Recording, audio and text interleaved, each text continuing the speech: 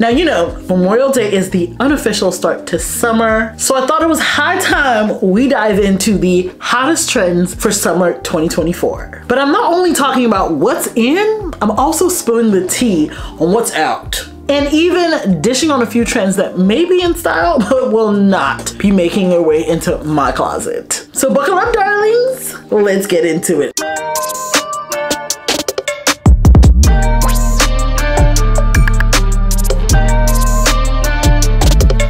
Fashionistas new here. I'm chi chi welcome. Not new. Hey girl hey. Welcome to new kids. Let them know how we treat family around here. Here we're all about celebrating style self-expression and fabulous fashion. So if that's what you're into sis you found your tribe. Stay a while. Before we get into the video let's talk about this outfit. So this top i actually have on is part of a two-piece short matching set. When i say that i have a problem when it comes to short matching sets. I do, and I do. Because during the summer, I want effortless, I want chic, I want easy, okay, to put together.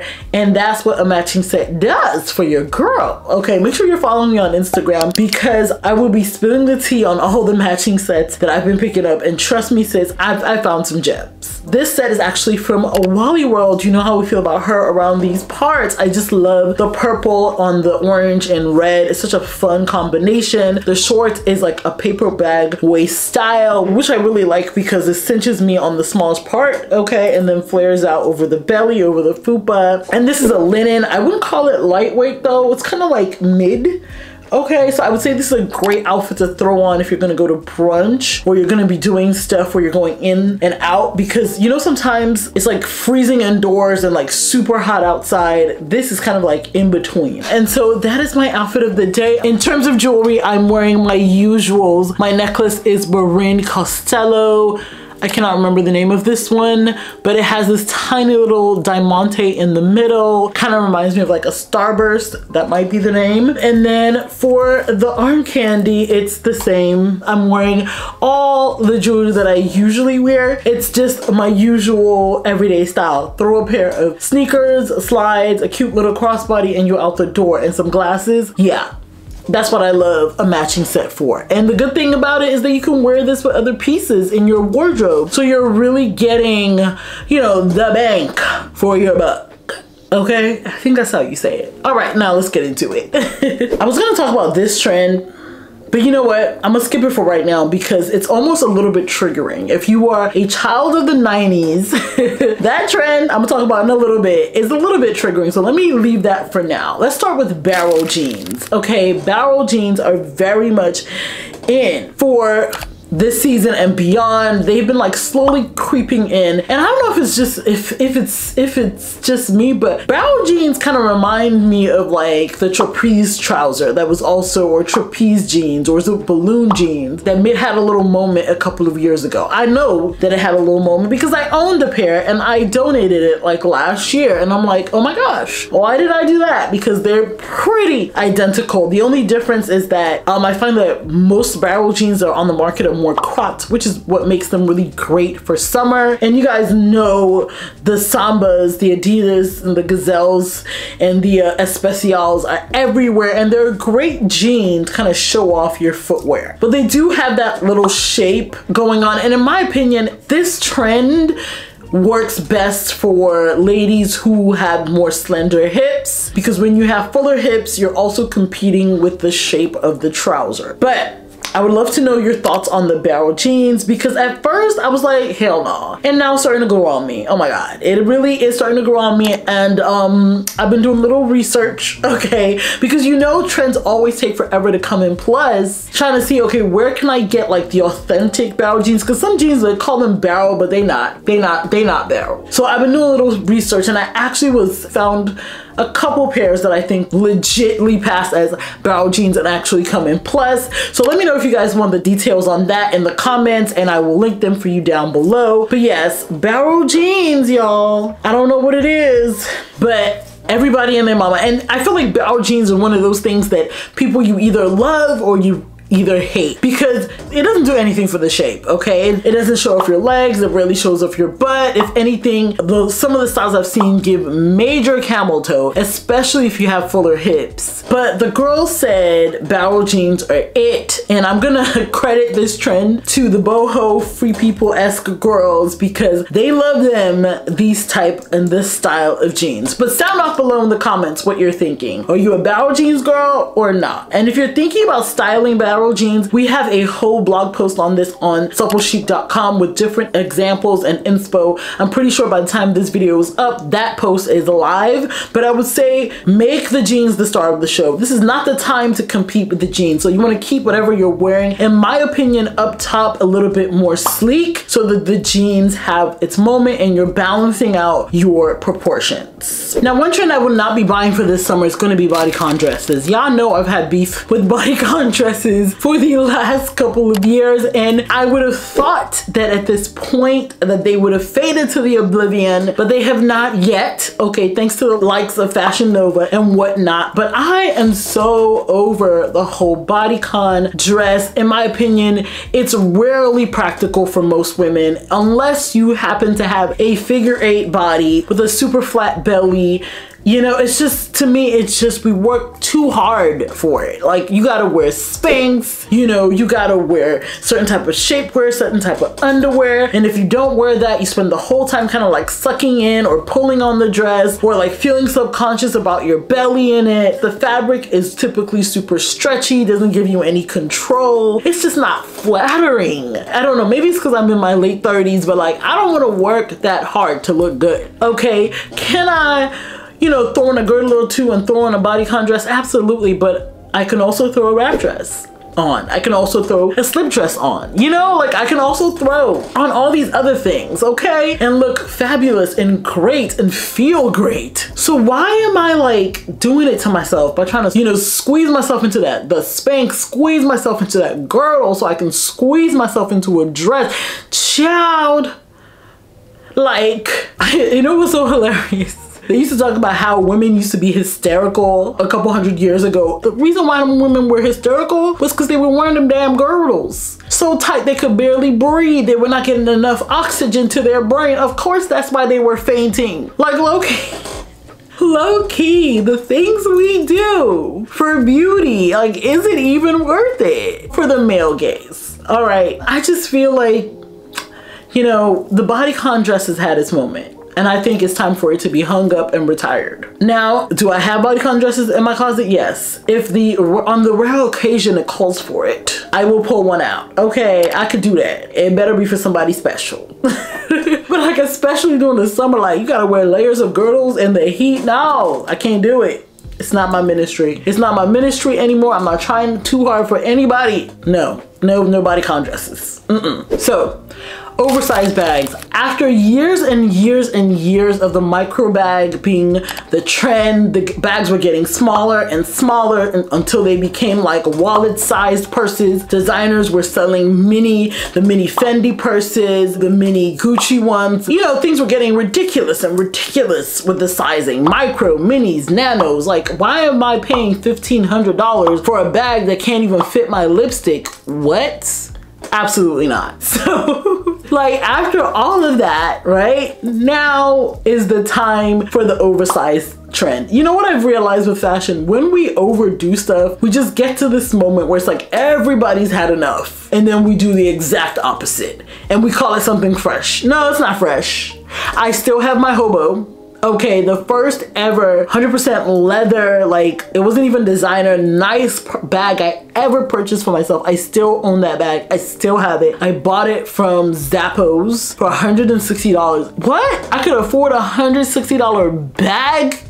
Y'all, it's so crazy. It was such a splurge for me as a mama who was in college, you know, who didn't have two pennies to rub together. And that's why I've never been able to get rid of that bag because it does need to go to like a leather worker to fix the handles a little bit, but I don't know if I'm ever gonna, like it has just too much sentiment in my heart, okay? Anyways, To cut the long story short, huge oversized bags are back, oversized totes, oversized hobos. And I definitely credit this trend to Bottega. When they came out with the mini Jodie and then they came out with the bigger Jodie, and I'm pretty sure it has another name that I don't know. I think it just ushered in the era of oversized bags, okay? And I'm here for it. Well, let me be honest, I'm here for it and I'm not. Because one thing about bigger bags is that you're gonna find stuff to put in it. So one thing I have appreciated about, you know, the smaller size bag is that I have to be discerning with what I put in there. Whereas if you give me a big bag, I'm gonna fill it up. Yes, I will. I'm gonna have everything plus the kitchen sink in that purse. All right, so that's my only issue there, but I'm loving it, especially for the summer. If you love that boho aesthetic, I mean, this is the time to live your best life, okay? Anthropologie has a bunch of, of options like that, so I will link them for you in, in the description box down below if you're interested. But I also heard the girls said, they said go to TJ Maxx because TJ Maxx also got it as well. Okay, so if you don't want to splurge on like real leather, you can go to TJ Maxx and get your life. All right, that's what the girl said. The girl's on TikTok, by the way. the next item is definitely gonna shock you. Oh my God, it's gonna shock you. I can't believe it, but jorts, y'all. Y'all were complaining about the long maxi denim skirts, but jorts, yes. Long shorts that go past your knees. The girl said that's trending. Now I did not put this on the list of things that will not be entering my wardrobe because I technically have like one pair, but this is one trend where you really have to pair it with the right things. Like you put it with the wrong top and you will go left immediately. Especially if you were someone, you know, over 30. You know, the teenagers, the 21 year olds, they can pull it off in anything, right? But once you hit, once you're going above 30, you know, if you pair that with the wrong top, you start looking like somebody took you straight out of the 90s, okay? Straight out of the 90s. So yeah, let me know what your thoughts on jorts. I mean, I don't know. For some, they're like, what do you mean by this is trending? I've always been wearing these longer shorts. I'm gonna be respectful. But um, no, the, the, like I've never been a Daisy Duke girl. That's not my ministry. I got a little too much junk in the trunk, too much in the back. There are too many hills and valleys for me to be in, a, in, in, some Daisy Dukes. But what you're not gonna catch me in for most of the time is a jort. Okay, that that's that's giving a little bit too mature. That's giving I'm going before my time. You know, personally personally. But jorts are in, so if you've always liked long shorts, sis, this is your time to shine. Go on, rack up those longer shorts. Rack them up, okay, and rock the heck out of them this summer. All right? But let me know in the comments how you feel about jorts, okay? Oh, speaking of shorts, it's going to be the boxer short. I'm seeing this all over. Now, I'm not seeing a lot of people that look like me in this trend. I really think the free people aesthetic is having a moment. One with the barrel jeans, two with the boxer shorts, like literally the stripe boxer shorts. You can get them on Amazon, you can get them on Free People, you can get them on a few places. I think like maybe Aerie has them. Yeah, yeah. I'm not gonna say never for this one, but it's more like not likely. Like you would only catch me in this trend if I was like on vacation and I needed a like cover up for the pool. I'm trying to not say like so much. I apologize. Count in the comments how many times have I said that word. Probably a lot. That's the only time you would catch me really opt in for this trend. But when I tell you the girls are eating up the boxer shorts, they are eating it up everywhere I turn now with the biker hats, the oversized t-shirts, and the boxer shorts, yeah. And the sambas, that's a uniform right now. Okay, the girls are eating up this trend and I would love to know your thoughts on what you think about this trend. Again, don't hate it, just it seems a little juvenile for me, but then I tend to dress a little juvenile, I've been told. But you know what? I'm not a regular mom. I'm a cool mom. My son is literally cringing. right now. I know him. He'd be like, oh my God, mom, stop. But yeah, okay. the boxer shorts are definitely in and I, I don't see myself spending money on it. it. I don't see it making its way to my wardrobe intentionally, okay? Unless I steal a man's, you know, shorts and he got some striped boxers. But let's let's let's stay on let's let's stay on on script, okay? And then And then, and then this next trend is definitely giving me full on 90s flashback, full on middle school flashback. And that is the pedal pushers, y'all. The pedal pushers are back. I don't know what they're calling them these days. I feel like I heard somebody call them something different. But if you were a 90s, early 2000s kid, or not kid, if you were in elementary, middle school in the 90s and early 2000s, pedal pushers. I don't even think it's an early 2000s trend. I think it's a 90s. It's a mid, like 1995 to 1999. Pedal pushers are back. It's the same reason why you couldn't get me to buy the Lizzie McGuire um, slippers that Target had last year. Like it's just giving me elementary school all over again. First of all, I'm a woman who is wide around the hip area and I feel like all that pedal pushers do is emphasize like how skinny your legs are versus to your thighs. So although it might work for others, it's just not for me. Like, it's making me come to terms with the fact that you're grown is getting over the hill, okay? Because now all the things that I wore when I was growing up is coming right back. I remember I was very awkward in elementary school because I was a foreign kid. And I remember my mom got me some pedal pushers and that was like the first time one of the cool girls actually gave me a compliment in elementary school right? So I do remember them pedal pushers. I do. Let me know your thoughts on pedal pushers. What do you think about the trend? Are you gonna be trying it? I'm on the fence on that, on this one. I'm not sure if this is gonna make into my wardrobe, but the girls say the pedal pushers is where it's in, okay? Throw it on with like a sleeveless vest. You are going straight 90s. That vest from Jenee Naylor's Future Collective, you got a full 90s fit right there. Throw on them Lizzie McGuire slippers. Go ahead and cosplay. You could have a full-on outfit for a 90s themed party. And one trend I will definitely not be participating in when I'm not on vacation is going to be the underwear short. I'm seeing people try to pass this as fashion, as style. I know who had something similar on the super micro mini short, you know, that doesn't even make any sense to wear in regular life. I see somebody style it with an oversized blazer since you're wearing underwear outside. Now, I will say that Target came out with a version of this trend and that I would wear to like a pool party or like to the beach on vacation. But like the little, the ones that actually look like underwear, like why is it going up so high? You know, I'm saying this, I'm, I'm actually rolling my eyes mentally in my head because I ordered the shorts that actually go with the vest from Jenee's collection. And that can kind of skew a little short. Now I haven't gotten it yet. I'm pretty sure by the time you've seen it, I've gotten it. But I did go ahead and size up so I can have a little bit more length. So we're gonna see. We're gonna see if we can make it work. But yeah, the super really micro mini shorts is like,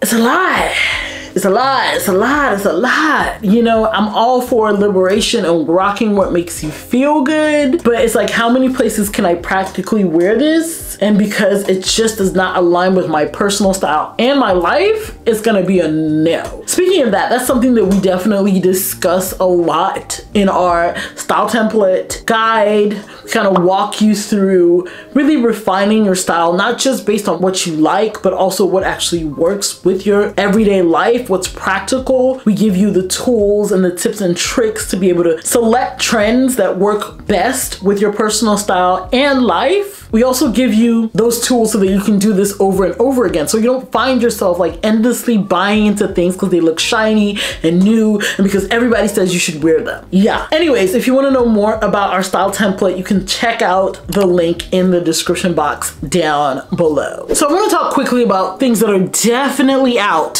for the summer. One of them is going to be these gladiator sandals. Sis, anything that looks like this, it's time to put them in the archive. I'm pretty sure they will come back because these kind of things always have that way of coming back, okay? But for right now, we want to put these in the archive and we want to opt for more understated footwear classic footwear when it comes to the summer you know a simple leather strapped slide or a thong sandal is going to be your best bet. Going forward, you could also do like an espadrille. Those are the options, right? But anything that is overtly looking like this with a hundred billion straps, There are a few exceptions, but I would say this specific style, especially, is time to be put away. Okay, put it in the archive. I'm not saying you should toss it unless it's in bad shape, but for now, it's not the vibes. It's not, it's really not the vibes. Something like this would instantly date your outfit. Another thing that I've talked about in ad nauseum is gonna be the cold shoulder anything. I don't care if the fashion girls say it's back. No, it's not back in style. It is not back in style if you are a curvy girl because we have been cold shouldered to death. It is the easiest way to age yourself, to age your personal style, to show that you are not keeping up what's current. And again, I definitely believe in wearing clothing that's true to your style, but also I think it's just as important to keep your wardrobe fresh and current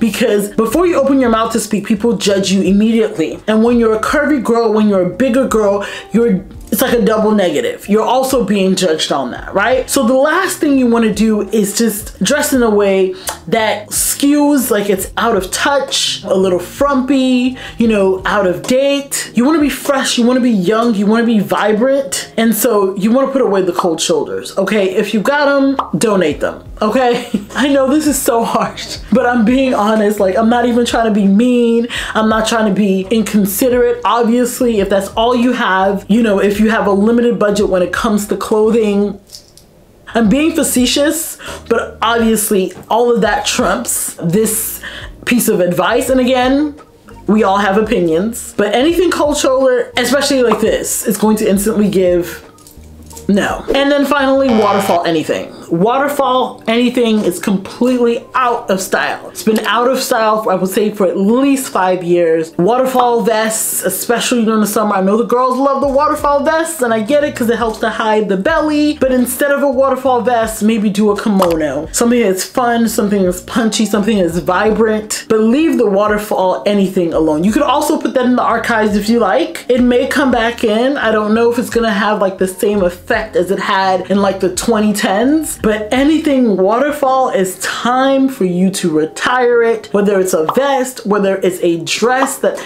is high-low. I am yet to see high-low be fresh and contemporary. It always screams out of date in my opinion. So let's leave the waterfall, let's leave the high-low pieces alone for now okay? And what I mean by high low, I mean extreme. Okay, if it's a little lower in the back because, you know, maybe it's a short piece and they gave you extra fabric to cover up, that's different from like, we're starting here, we're ending here. Now, I've, I've said all the not so nice things, so let me, let me sweeten it, okay? Let me sweeten it back up for you Hopefully all of you have not clicked off this video and you're still watching. So here are a couple of things that we are not embracing this summer. The first is waiting to be a certain size to enjoy summer. Waiting to be a certain size to go in the pool this summer. Waiting to be a certain size to go on vacation this summer. Waiting to be a certain size to wear a swimsuit in the pool this summer, waiting to be a certain size to not die in sweat